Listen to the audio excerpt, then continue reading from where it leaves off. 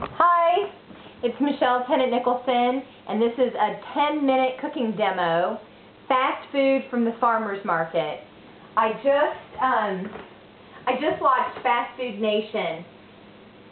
Oh, it made me so upset. I was like, what can I eat? Clearly an emotional eater, right? I mean, I was, it's, it's, a, it's not a documentary, it's an actual movie. I didn't know that watching it. And there were some personal relationships in there that uh, really were upsetting. But the most upsetting thing is, and I don't really eat fast food at all. I mean, I, I haven't been to had a fast food burger in years, you know. But I will never, ever, ever, ever, ever eat a burger or meat that I think that has come from an assembly line industry type situation. It's just gross.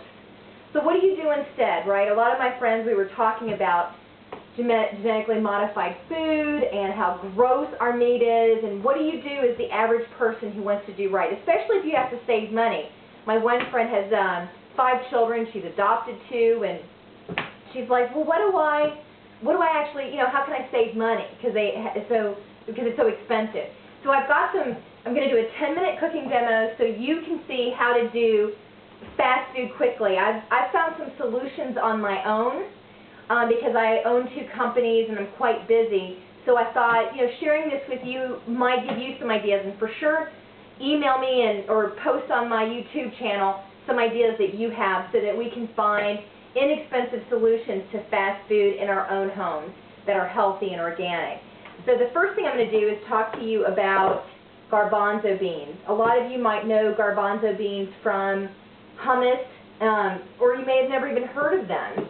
They're chickpeas, okay? And you can get them in a bag like this from the grocery store. And in fact, it'll be much cheaper if you get it in a bag. Take your bag, put it in a pot like this. Then, like last night I did this. Do it at night.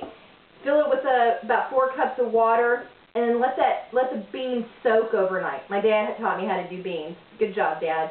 Um, but then you just let that sit overnight, and then you pour the water off in the morning. You look for anything that might uh, be stones or whatever, you know, because it, they are beans. And then and you take about four cups of water and you slowly cook that on the stove. I basically worked all morning and just had it sitting on uh, medium to low, you know, with a toothpick, and this is glass and steel. Make sure that your your cookware is also healthy. I just put the toothpick right in there and let that cook until the beans are tender. Now with this, I'm just going to keep this in mason jars in my refrigerator and then cook with them. I can do hummus. I can mix it with rice. And here's how you do rice, by the way. Um, I've got organic brown rice. I love a rice cooker.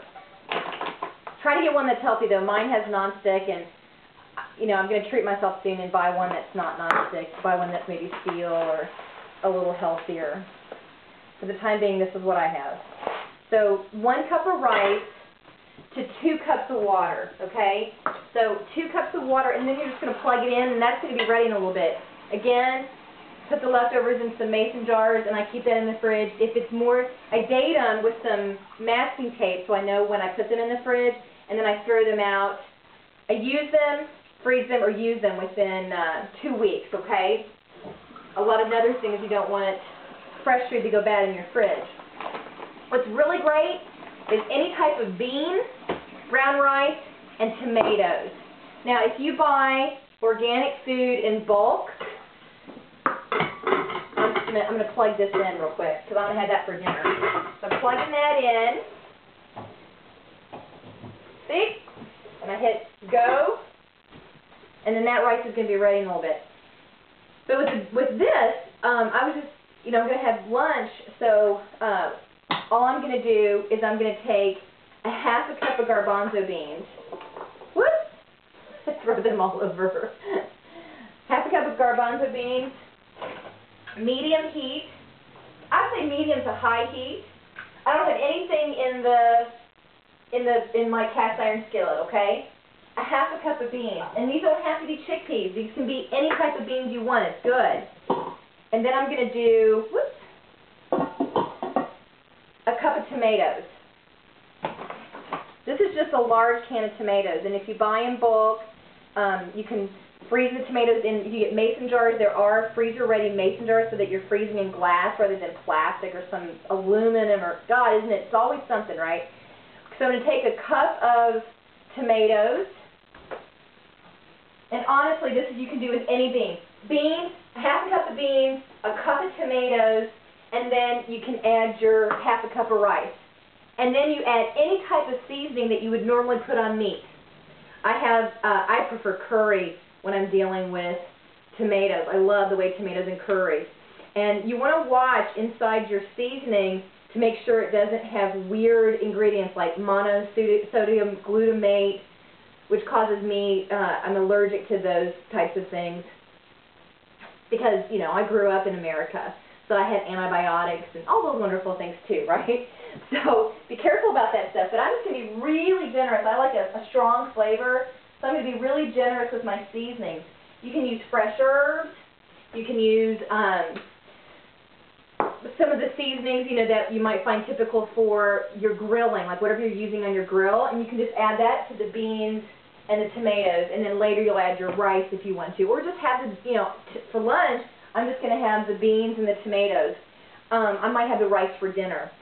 Another thing that you can do is add some broth to your beans. You can leave the tomatoes in there or not. And then you can make a soup. And then what's good with that is some cornbread. And we make organic cornbread in our cast iron skillet. It's really delicious. It's, it's not, throw your ingredients together, put it in the oven, and it's ready in 15 minutes. So I hope I give you some ideas on what to do for fast food that's healthy. And, you know, of course, all these ingredients you can get at your farmer's market or your local uh, health food co-op or go to your, uh, maybe get a CSA, Community Supported Agriculture. Try to support the local farmers in your area so that they can continue to provide us healthier food than what I'm going to now start calling assembly line food. And if I think it's coming from an assembly line, it's not going to go in my body. Gross. you need to go see that movie, Fast Food Nation. It, whew, I need to uh, go take a shower or something. It was really disturbing. But out of it comes something new and a new solution. So hope this has been helpful. Let me know what you think.